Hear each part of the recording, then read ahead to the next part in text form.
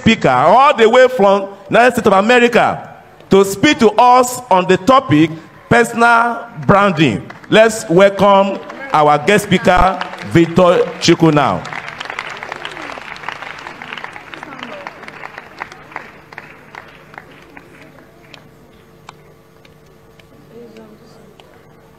Thank you very much. You're all welcome to Impact 2022. I want to thank God for this wonderful Global Impact program. And I also thank the visionary of this program, Pastor Dr. W.F. Kumuyi. I want to thank the organizers for inviting us to speak at this time. I'll be speaking with Dr. Sam Jolayemi and Mr. Layo Adebayo from Australia. And at this time, we are talking about personal branding. Personal branding.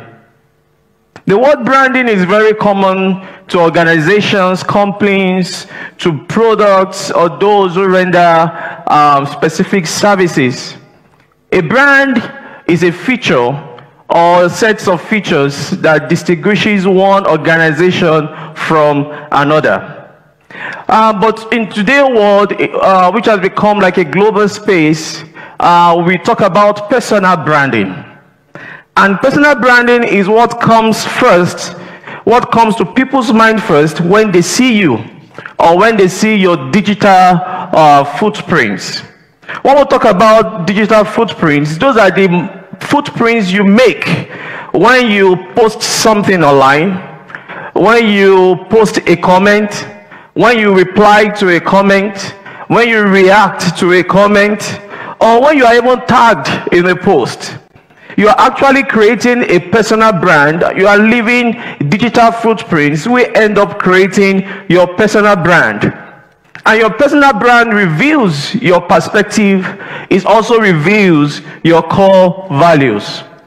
It is important to know that your personal brand can either make you or can mar you. So what you put on the internet has become so important that your online projection has become a tool to assess your offline proficiency. Your online profile is a big tool right now to assess your offline proficiency. If you want to look for a job now, once you apply for that job, one of the things they do is that they go online and they check your social media handles to see if you have a good online reputation or online profile. So it is very important you create um, a, a, formidable or a, a reputable personal brand online. There is this boy named Farouk. Farouk is a graphic designer. And he decided to design a logo for a mobile uh, company. That is mobile vehicles company. And he tagged the complaint uh, and he said, I'm proposing this logo for your complaint. He did that on Twitter. That post was shared many times until he got the attention of the complaint. And because of the way he branded the logo and he branded himself, he actually had the opportunity to talk to the owner of the complaint. So that is the power of personal branding. On the other hand, um, there was this lady in the United States who got a job with NASA.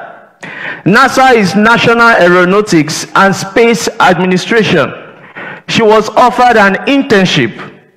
But you know what happened? She got so excited, went on Twitter, and posted that she got this internship, but with a bad language.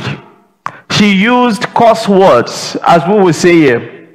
And then that got the attention of a top member of the council who tried to correct her on Twitter and said, Be careful of your language. But because she did not know who that person was, she replied that person with even a worse language, a worse language, a worse curse word. Do you know what happened? She lost her internship, she lost her job. Why? Because she was not able to brand herself well. So you see, your personal branding can either make you or mar you. We cannot ignore the fact that there are some challenges to our personal branding. Yes, I will just mention them quickly. We have some psychosocial problems, which has to deal with the way you think about yourself. So your mental image of yourself can affect how you brand yourself. Or it can be your the, the, the image, the mental image of how other people see you can affect how you brand yourself. We also have genetic inheritance, genetic makeup, the way you are built. Some people are introverts, others are extroverts. And yes, that can affect the way you brand yourself. Sometimes it could be environmental factors. For example, um, a lot of people brand themselves based on their background. So they allow the culture to affect their personal branding. It's one of those challenges that affects the way we brand ourselves. The way we grew up, the community in where we grew up, the people we interacted with while growing up, that can affect our personal branding. Or maybe economic hardship. You know, with COVID cases rising presently, or depression on the rise, or suicide, or poverty, unemployment. Sometimes we take these things and attach them to our brand, even as we post on social media, and that really affects our personal branding.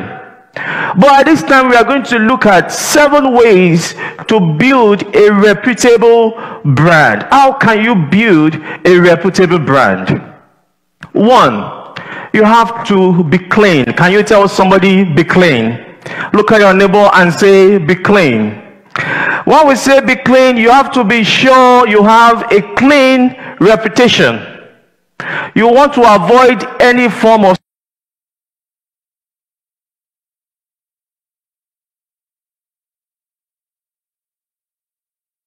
scandal. You want to have clean records. Uh, you want to go back to your timeline, go back to your feed on the media or online, and be sure that there is nothing there that is not in alignment or in correlation to where God wants to take you to.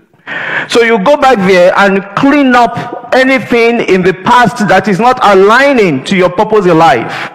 So make sure you have clean reputation, clean records. Make sure you have clean results. When you present your results outside there, avoid manipulating your results. Make sure you have clean relationship. Avoid relationship that can implicate your destiny. Avoid relationships that can implicate your destiny. Uncleanness will always catch up with you even if you don't catch up with it. Uncleanness will always catch up with you if you don't catch up with it. We have many mighty men, big men, great men that are falling today because they did not do a thorough cleaning of their past. And now it is catching up with them. Another thing uncleanness will do is it will make you drive recklessly. You will have an abnormal drive in life. Over here and in many parts of the world, when a driver drives recklessly, a policeman, a cop stops that driver. And one of the things they check is to be sure that the blood is clean of alcohol or drugs. Because when you are not clean, you have the tendency to drive recklessly. You have an abnormal drive in life. So, number one, be clean. Number two, be consistent. Consistency is what differentiates a great man from a normal man. Greatness is built by consistently doing ordinary things in extraordinary ways. Somebody said that.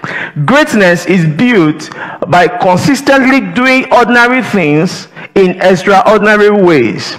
So, as you build your personal branding online, are you consistent? Is your message consistent? Is your mission consistent? Your manner, is it consistent? You have to be very sure. Do you, what do you post? Do you post gospel today and tomorrow you post garbage?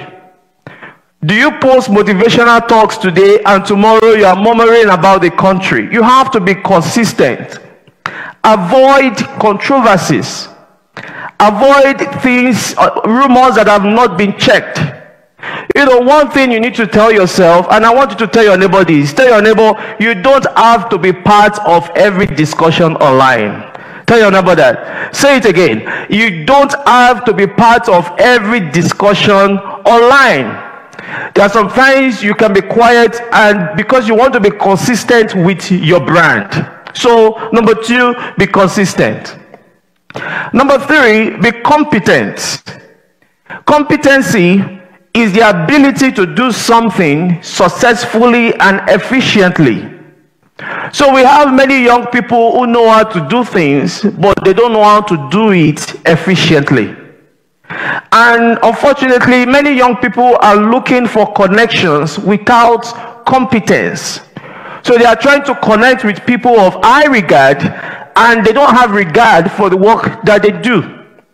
It is good to network with people that have good net worth. But make sure that you have a net full of good works. It is good to network with people who have good net worth. But make sure you have a net full of good works. You have to be competent in what you are doing. Number four, you have to be credible. That means you are authentic and real as you build your personal brand. Don't put a false image of yourself online. A lot of people online are putting a false image, fake image of who they are. You know what? Fake is never sustainable. Fake is never sustainable. So make sure you are not fake. Make sure you are not fake. The truth cannot be eaten for too long. So make sure you are yourself and make sure you are unique. Emmanuel Unduka, that is the young man that made some news on LinkedIn recently. You see, he branded himself like his role model. His role model is actually the chairman of the Heirs Holdings, the chairman of the United Bank of Africa. Well, it was himself. He didn't have the red socks you can see on the picture on the right. He didn't have the red socks and he didn't have the expensive bags because that, those were the signature of his role model. And when he was asked on the media on LinkedIn, why don't you have your red socks and the expensive bag? This is what he said. He said, I believe the red socks are connected to his brand. And in the long run, I will have my own legacy and finally secure the bag. And he actually secured the bag. You know what happened? After many days and weeks, he was contacted by his role model, the chairman of Heirs Holdings, chairman of the United Bank of Africa. And that role model now became his real mentor. You see, because he branded himself well, but he was unique in branding himself, it was authentic, and it was real. So as you brand yourself online, make sure you are credible. Be credible. Number five, be conscious. Be conscious of the time and be conscious of the people. Be conscious of the time in which we live, the events going on around you. Remember that your audience are your followers.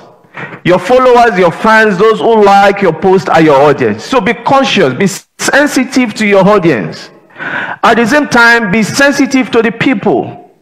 You know, we live in a generation where uh, we disagree without knowing how to respect people. So you'll see online a lot of people write with all due respect. They start the sentence with with all due respect. But everything that comes after that first phrase has no respect. That's not the way it should be. Yeah, we can disagree. We should learn to disagree with respect. It's a skill that we all need to learn in this generation because you don't know where you're going to be tomorrow. You'll be in high places. And I know with this program, the Lord is taking us to high places. And you'll be in some places where you disagree with policies and you will disagree with strategies. But you need to learn how to do it without disrespecting the person bringing the policy. So be conscious of the times and be conscious of the people. Number six, be committed to excellence. Excellence is the quality of being extremely good or outstanding. Excellence is the opposite of mediocrity. Average is the enemy of excellence. So if you want to be excellent, always think about uh, always think about going above the average because average is the enemy of excellence. Be committed to excellence in everything that you do. Pay attention to details. Pay attention to details. Detailing is what makes you shine. Detailing is what makes you shine. You know, um, and as you think about excellence, also remember that your idea of excellence is only based on where you've been. So your idea of excellence is based on your exposure. We can see a walk together. Why some people are clapping for that walk, some people are crying for that walk. Do you know why? Because different people have different level of excellence. Your excellence is based on your exposure. So if you want to really reach that standard of excellence, you need to expose yourself to books, expose yourself to materials, videos that can help you in your field or help your personal brand. Expose yourself to portfolios of people that have worked in your area or those you aspire to be. And so that you can have a good picture of what excellence is because the standard of excellence is based on your exposure. So make sure that you are exposed to the right level or standard of excellence. Number seven, and this is the last, you have to be Christ centered. Yes, we want to build a personal brand, but you need to remember that we are ambassadors of Christ. We belong to a different breed. We are a brand new breed of believers. We have a unique DNA. For we are partakers of his divine nature, DNA. So the fiber optic of our message is grace. We speak light in darkness. We speak peace in chaos. We speak hope in uncertainty. We are the lights of the world and the salt of the earth. Even though we belong to a different generation, yet we speak the same revelation. Why? Because Jesus is the Son of God. And upon this rock we build the church, and the gates of hell shall not prevail against this. So as you build your personal brand, remember that you represent Christ. And as you do this, I believe we will all have wonderful and great uh, personal brands. Thank you so much. Now I hand over to Dr. Jolayemi and Mr. Layo to answer any questions. Thank you very much.